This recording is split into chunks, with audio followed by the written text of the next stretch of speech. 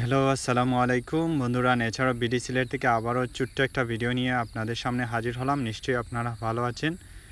আজকের ভিডিওতে আপনাদেরকে দেখাচ্ছি কীভাবে আমরা লেবু গাছ লাগাবো এবং লেবু গাছগুলা লাগালে কীভাবে খুব তাড়াতাড়ি বড় হবে এবং গাছের শিকড় এবং কাণ্ড গজাবে।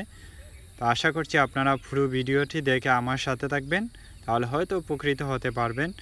আর যারা আমার চ্যানেলে নতুন, প্লিজ আমার চ্যানেলটি সাবস্ক্রাইব করতে ভুলবেন না। যেহেতু আমাদের দেশে এখন বর্ষাকাল চলতেছে, তো এই সময়টাতে আমরা যে কোনো ধরনের গাছ লাগালে গাছগুলো মরে যায় না এবং গাছগুলো খুবই তাড়াতাড়ি বড় হয়ে যায়। তো বন্ধুরা, আপনারা ভিডিও শুরুতে একেবারে শুরুতেই দেখেছিলেন যে এখানে দুইটা গর্ত করা হচ্ছে আর এই দুইটা গর্তের মধ্যে আমি আমার লেবুর গাছগুলো লাগাবো।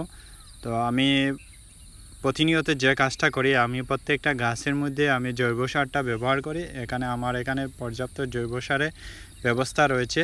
আর জৈব সার লাগালে গাছগুলা, গাছের যে মূলে যে মাটিগুলো আছে সেগুলা, মাটিগুলা খুবই উর্বর থাকে।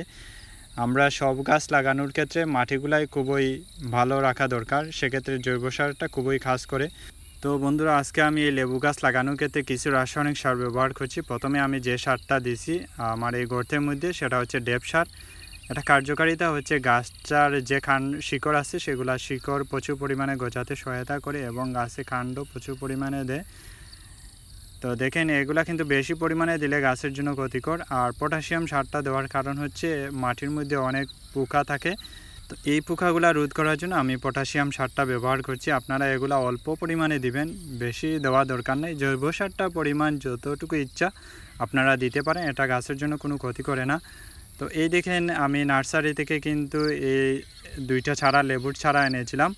তো আমাদের সিলেটে এই লেবুটাকে বলা হয় জারা লেবু। আপনারা সবাই জানেন যে সিলেট থেকে প্রত্যেক বছর প্রচুর পরিমাণে লেবু আমাদের দেশে বিভিন্ন জায়গায় রপ্তানি করা হয়। তো বন্ধুরা, লেবুর ছাড়াটা লাগানোর পূর্বে লেবুর চারার নিচে যে পলিথিনটা থাকে, নার্সারি থেকে যখন আমরা চারাটা আনি, তখন কিন্তু নিচের দিকে একটা পলিথিন দেখতে পাই। তখন এই এই পলিথিনটা আমরা আলা, আলতোভাবে গাছের যে শিকড় আছে, সেই শিকড় থেকে আপনারা পলিথিনটা আলতোভাবে আলাদা করে নেবেন। তো গাছটা যখন লাগাবেন, তখন কিন্তু গাছটা একেবারে সোজা করে লাগাবেন, যাতে ঝড় তুফানের কবলে গাছটা পড়ে যেতে না পারে এবং গাছটা যদি বেশি লম্বা হয়, তাহলে কিন্তু আপনারা খুঁটি দিয়ে দাঁড় করে রাখবেন। তাহলে ঝড় তুফানে আর গাছটা ফেলে রাখবে না। তো গাছটা লাগানো শেষ হয়ে গেলে আপনারা গাছের যে মূলটা আছে, সেই মূলটা ভালোভাবে ডেকে দিবেন এবং মাটিগুলা ভালোভাবে ছাপ দিয়ে রাখবেন যাতে যাতে জ্বর তুফান হলেও গাছটা যাতে পরে যেতে না পারে। তো আমি কিন্তু ঠিক এইভাবে আমি আমার গাছটা পরিচর্যা করছি। এই দেখেন কত সুন্দর লেবুর গাছটা। তো দিওটা ছাড়া লাগিয়ে নিচ্ছি। আপনারা যদি আমার চ্যানেলে নতুন হয়ে থাকেন, প্লিজ আমার চ্যানেলটি সাবস্ক্রাইব করে যাবেন। আর যদি আপনাদের কোনো রকম প্রশ্ন থাকে অবশ্যই আপনারা কমেন্ট বক্সে কমেন্ট করে যাবেন। তো বন্ধুরা, আমার ছাড়াগুলা প্রায় একেবারে লাগানোর শেষ পর্যায়ে চলে এসেছি।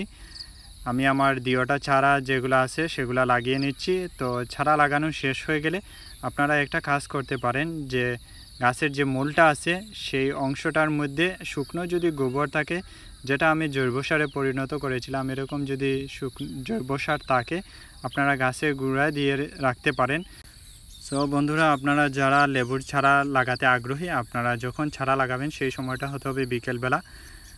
তো দেখেন, আমার কিন্তু, আবার কিন্তু এই জৈব সারটা আমি কিন্তু গাছের গুঁড়ায় দিচ্ছি, যাতে গাছটা তাড়াতাড়ি বড় হয়ে যায় এবং গাছে শিকড় গজাতে পারে। নিচে যতটুকু জৈব সার দিব, তত গাছের জন্য ভালো হয়। আর চারা লাগানো শেষ হয়ে গেলে আপনারা গাছের মধ্যে পানি ছিটিয়ে দেবেন। এভাবে দুই, তিন দিন যদি ছিটিয়ে দেন, তাহলে কিন্তু গাছটা সতেজ হয়ে যাবে আর গাছটা মারা যাবে না। তো এই ছিল আমার আজকের ছোট্ট ভিডিও। আপনারা দেখে যদি উপকৃত হন, তাহলে আমি খুবই খুশি হব। সবাই ভালো থাকবেন। আল্লাহ হাফিজ। আসসালামু আলাইকুম।